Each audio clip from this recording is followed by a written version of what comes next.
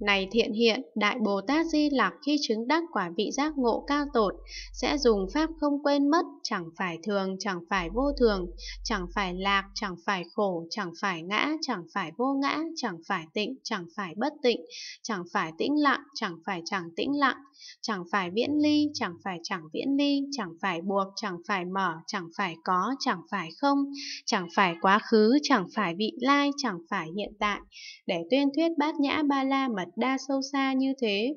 Sẽ dùng tánh luôn luôn xả, chẳng phải thường, chẳng phải vô thường, chẳng phải lạc, chẳng phải khổ, chẳng phải ngã, chẳng phải vô ngã, chẳng phải tịnh, chẳng phải bất tịnh,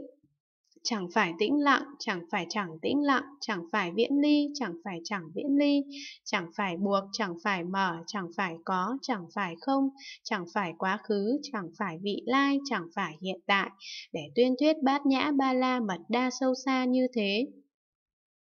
Này thiện hiện, Đại Bồ Tát Di Lặc khi chứng đắc quả vị giác ngộ cao tột, sẽ dùng trí nhất thiết, chẳng phải thường, chẳng phải vô thường, chẳng phải lạc, chẳng phải khổ, chẳng phải ngã, chẳng phải vô ngã, chẳng phải tịnh, chẳng phải bất tịnh, chẳng phải tĩnh lặng, chẳng phải chẳng tĩnh lặng, chẳng phải viễn ly, chẳng phải chẳng viễn ly, chẳng phải buộc, chẳng phải mở, chẳng phải có, chẳng phải không, chẳng phải quá khứ, chẳng phải vị lai, chẳng phải hiện tại, để tuyên thuyết bát nhã ba la la mật đa sâu xa như thế, sẽ dùng trí đạo tướng, trí nhất thiết tướng, chẳng phải thường, chẳng phải vô thường, chẳng phải lạc, chẳng phải khổ, chẳng phải ngã, chẳng phải vô ngã, chẳng phải tịnh, chẳng phải bất tịnh, chẳng phải tĩnh lặng, chẳng phải chẳng tĩnh lặng, chẳng phải viễn ly, chẳng phải chẳng viễn ly, chẳng phải buộc, chẳng phải mở, chẳng phải có, chẳng phải không, chẳng phải quá khứ, chẳng phải vị lai, chẳng phải hiện tại, để tuyên thuyết bát nhã ba la mật đa sâu xa như thế thế.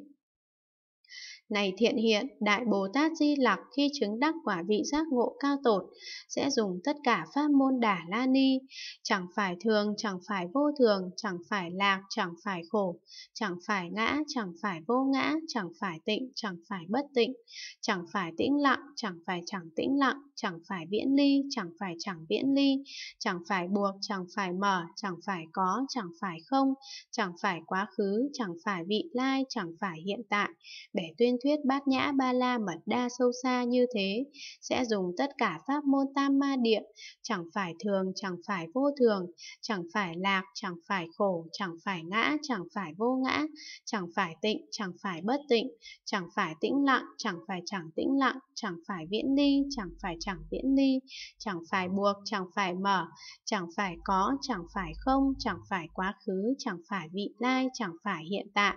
để tuyên thuyết bát nhã ba la mật đa sâu xa như thế.